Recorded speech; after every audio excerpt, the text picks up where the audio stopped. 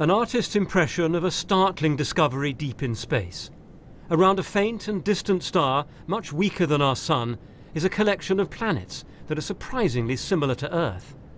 In all, seven of these worlds have been spotted, and astronomers think it may change the way we look at the night sky.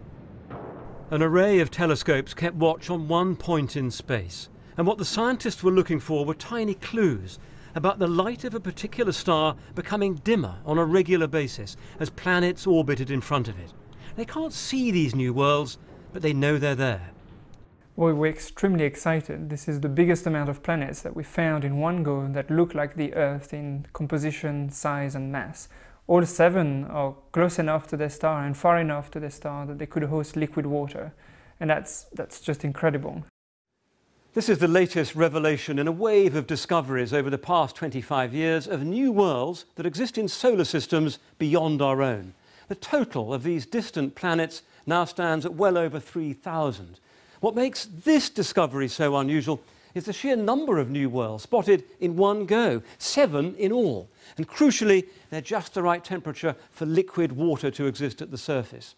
Three of them are in what's called the habitable zone, which raises the tantalizing possibility that they could conceivably host life.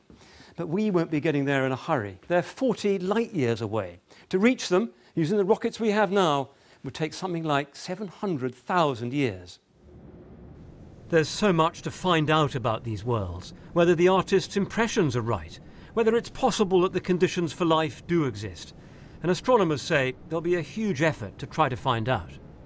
The more we look, the more planets we find and the more Earth-like planets we find. But this is especially exciting because this sort of um, ultra cool star that we've discovered, they're quite populous throughout our galaxy. And it's the first time we found planets going around a star like this, and we found seven of them.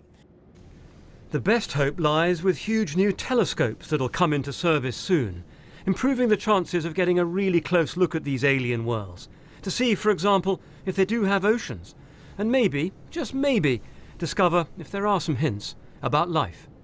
David Shukman, BBC News.